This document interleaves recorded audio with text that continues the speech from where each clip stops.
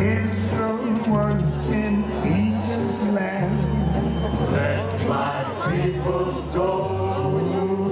Oppressed so hard they could not stand. Let my people go.